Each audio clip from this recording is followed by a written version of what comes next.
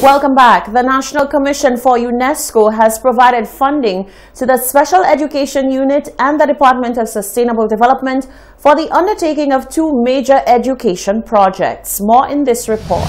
A joint check presentation to the Special Education Unit and the Department of Sustainable Development marks the official start of two projects, providing reading support for students with print disabilities at the Lady Gordon Opportunity Center and strengthening the legislative and institutional framework for the promotion of science and technology.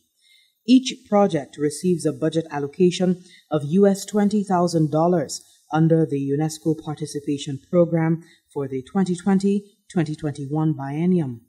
Director General of the National Commission for UNESCO, Marcia Symforia, says the two initiatives are in keeping with UNESCO's 2020-2021 strategic priorities of increasing learning opportunities for persons in vulnerable situations with particular attention to crisis-affected populations as well as persons with learning challenges and harnessing sciences for sustainable development.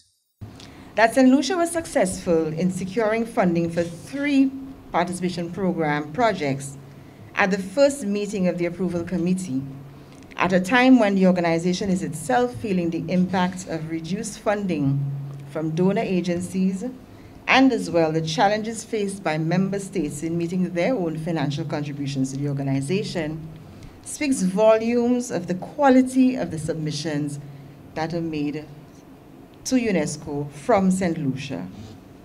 In that regard, I wish to congratulate the Department of Sustainable Development for these two excellent projects. The first project, providing reading support for students with print disabilities at the Lady Gordon Opportunity Center, seeks to improve access for students with dyslexia, low vision, or select mobility impairment to reading materials in digital formats that fit their specific learning needs. This project consists, among other activities, of a Bookshare library that St. Lucia will be part of, which is the world's largest online system, as well as a braille-worn device, which allows a visually impaired individual to interact with a computer without the assistance of someone else. This project arose in a timely manner, considering that the country has been impacted by COVID and we've had to close schools yet again. That was Minister for Education, Innovation, Gender Relations and Sustainable Development, Honorable Dr. Gale Rigobert. Education Officer for Special Education, Dale Segiste, says this project effort is invaluable. One of the challenges within the special education subsector is that reading is very challenging. It is difficult, and there are many of our students who actually do not acquire that skill. But as I said before, one of the key components of achieving that goal is to provide appropriate resources.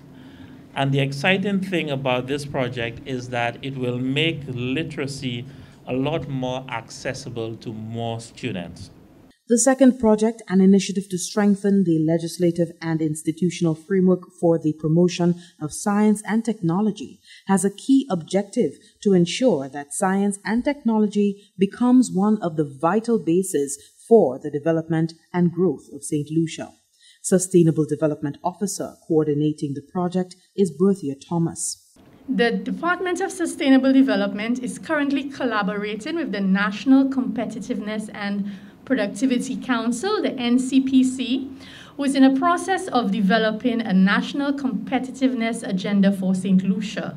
And one of the outputs of this agenda is a national science, technology, and innovation policy. And we're hoping that at the completion of this, we can develop through this project, its wife, so to speak, its partner, so to speak, the National Science and Technology Strategy and Action Plan. So what we have in the policy, we want to put it into action and guide our activities. Other initiatives attached to the project include the strengthening of the research agenda in St. Lucia, the continuation of the science and technology summer camps, and the hosting of the first ever St. Lucia Female Icons in Science, Technology, and Innovation Forum.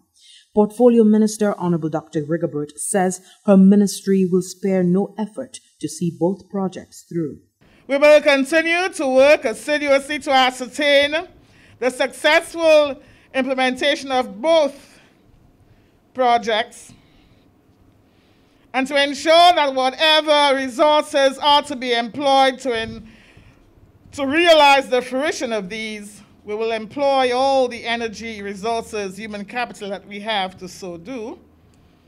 Noting that successful implementation refers to a project which meets all of its expected objectives and outputs and effectively undertakes its program of activities in keeping with the stipulated guidelines.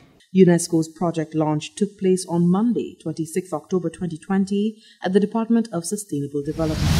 The Replast OECS pilot plastic recycling project is currently formalizing partnership arrangements with the constituency councils of Gros Vieux Fort South, and the L'Abri Development Foundation and Caribbean Youth Environment Network to establish and operate designated points for the collection of plastic waste in the form of PET and HDPE beverage containers. To this end, the project conducted training on Saturday for close to 80 community volunteers from Gros Islet and environs, Castries, Vieux Fort, and L'Abri. The Replast OECS project is funded by the Republic of France on behalf of the government of St. Lucia and is being implemented by Unite Caribbean Limited. Those persons will be trained, they would be exposed to the whole issue of plastic recycling in general, um, waste management, and also the specifics of the operations of the collection point. So, this is our very first activity and the intention is to give them like a broad orientation today. Um, we will continue to have ongoing training. The next training session would be a more hands-on training session on the ground. Replast collection points are on schedule to start operations on November 7th, beginning with the Gros collection point. The training was facilitated by Mrs. Geraldine Lendor Gabriel, a business development consultant and former general manager of the St. Lucia Solid Waste Management Authority. We expect the participants to see this as also an opportunity beyond just this pilot project. We've referred to them as pilots. Pilots not just as part of a pilot project, but pilots who, if they steer this ship effectively, we will have on the ground a sustainable program which will address not just plastics, but goes beyond plastic waste.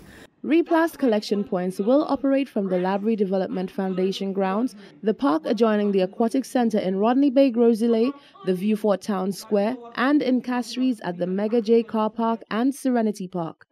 Town Clerk of the Vieux Fort South Constituency Council, Ms. Kizzy Joseph, says the council, which is responsible for the management of waste in that constituency, sees the Replast OECS project as an opportunity to create a significant shift in attitudes with regard to how people perceive the problem of improper plastic waste disposal and their role in it.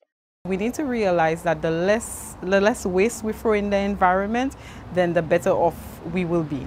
The less waste that goes into, into the landfill, the longer the lifespan of the landfill. Leon Kuhlman, who will be volunteering at the Gros Islet Replast collection point, says as a water sports enthusiast, the issue of plastic pollution is personal. Actually, um, I took a trip uh, last year in the Great Barrier Reef and I noticed that it is not how it seems in the documentaries and on the History Channel.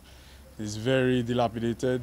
The um, amount of species that you'll find down there is, is, is, it's not like you can imagine. So I'm very happy to be part of this initiative to help change that outlook and improve our wildlife, especially in the marine sector. Volunteers automatically qualify for Replast reward cards and to earn points for their service following the establishment and fine tuning of operations at these initial four collection points. The aim is to upscale to other communities. Persons wishing to become Replast collection point volunteers can contact the project at recycleplastics at unitecaribbean.com.